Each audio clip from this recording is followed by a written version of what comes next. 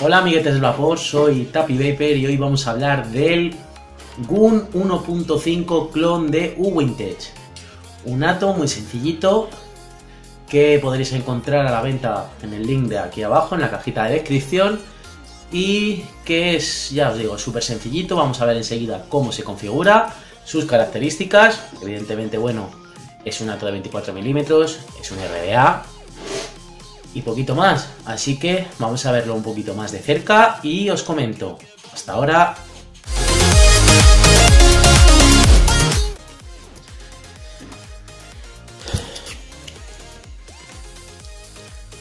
Bien, y aquí tenemos el, a este pequeñín, a este GUN, un ato de 24 milímetros en acero inoxidable. Aquí arriba tenemos la inscripción de 528 Custom Babes. Abajo todas sus inscripciones, el número de serie que no vale para nada. Es un clonaco. El pin button feeder que lo tengo ahora mismo instalado. Viene también el, el normal. Este es el tornillo de sujeción del poste. Y lo vamos a abrir. Las tóricas van de puta madre. Bien, aquí tenemos la base. Son dos presillas de estas gordotas sin muelles. Tornillos de cabezal de estrella. Yo soy más de los de los de cabezal tipo Valen, la verdad, pero bueno, ¿qué le vamos a hacer? Y sí, chicos, como veis, estas presillas son sin muelle. Como en el original, era evidente, pero yo que sé, igual al fabricante le podía haber dado por meterle un muellecito ahí de puta madre para que no fuera un dolor de cojones. Pero bueno. Como podéis ver, las piscinas son bastante grandotas. A ver, a pesar de que no sea muy fan de estas presillas, eh, sí que es verdad que como hay tantísimo, tantísimo sitio, pues hombre, toca los huevos, pero tampoco es excesivamente complicado. Sí que es verdad que ahora mismo tengo unas resistencias relativamente chiquititas, porque esto son unas son 5 vueltas en soporte de 2,5. Pero, pero bueno, tampoco, tampoco es muy complicado. Tampoco es demasiado complicado. Yo lo que hago para montar las resistencias es cojo la primera, la pongo, le corto las patitas a la medida, me la llevo aquí al, a la barrita, las pongo una al lado de la otra las corto a la misma medida y ya las monto a la vez. Monto un lado, meto las patitas, las otras me da igual que pinguen un poco, aprieto, ya ajusto las patillas en este lado, termino de apretar y a correr, montado. Y luego, bueno, sí, lo típico, las nivelas para que queden a la misma altura y esas cositas. Ya está. Como vemos, la piscina es bastante grandota. Más que nada porque está diáfano. Y nada más. Y bueno, el pin button feeder, que si lo veis está ahí entre los dos puestecillos, el pobre escondido. Que bueno, a ver, ¿cómo deciros? No está mal, pero al ser ahí un chorrillo que está entre dos postes perdido en una piscina tan grande, pues no es el mejor ato para botón feeder del mundo. Pero hombre, te he sacado un apuro, ¿eh? Las cosas como son. Una vez vista la base, ¿vale? Aquí tenemos lo que sería la camisa y la cap.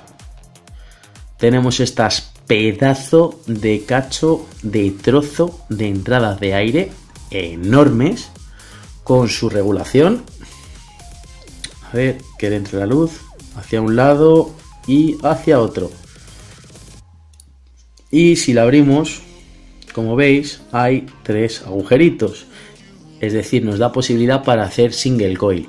Sí que es verdad que yo este tipo de atos no recomiendo hacerle single coil, porque al fin y al cabo lo que haces es matar medio ato.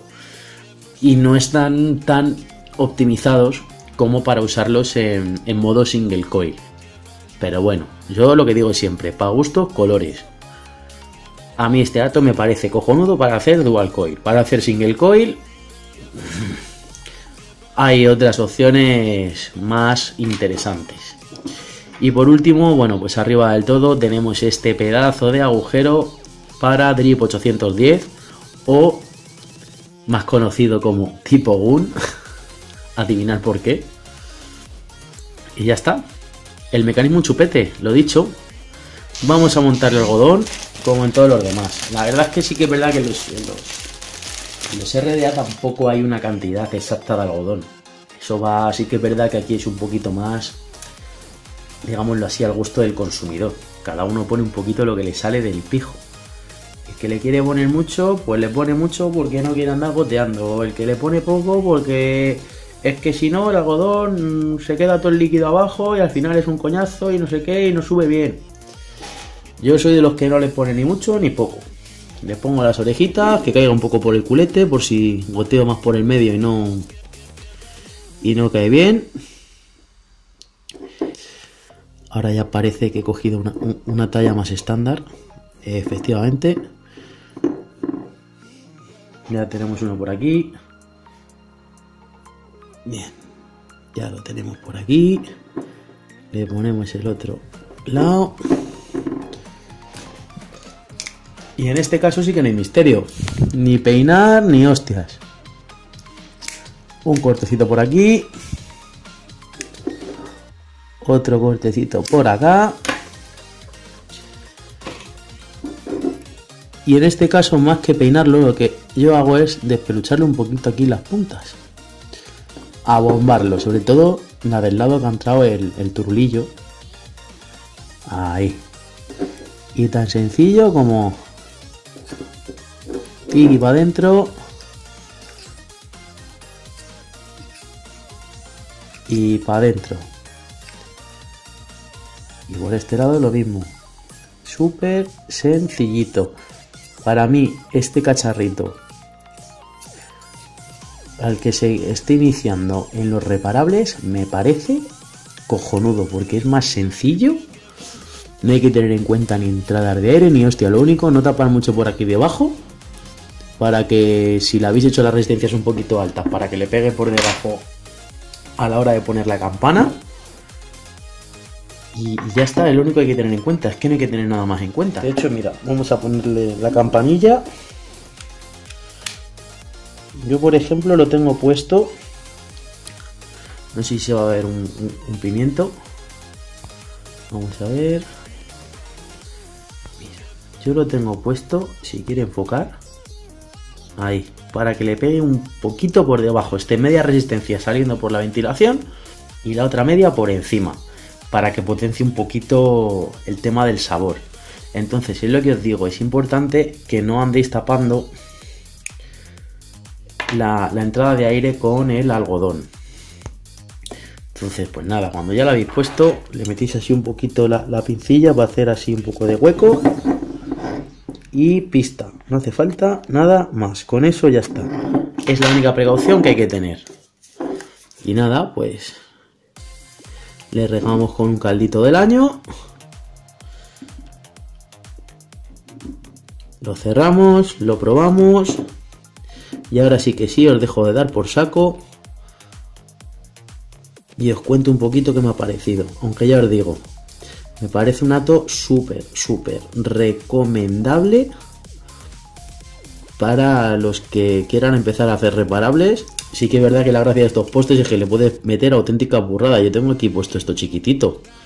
Pero se le pueden meter lo que se vienen llamando amortiguadores de autobús o de camión, lo que prefiráis.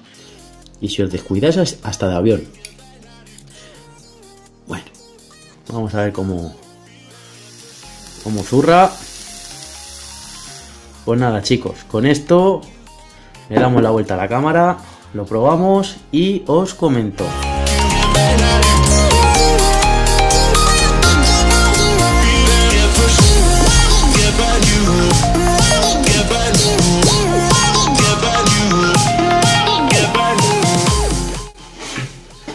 Vamos a hacer unas conclusiones muy breves sobre este atomizador.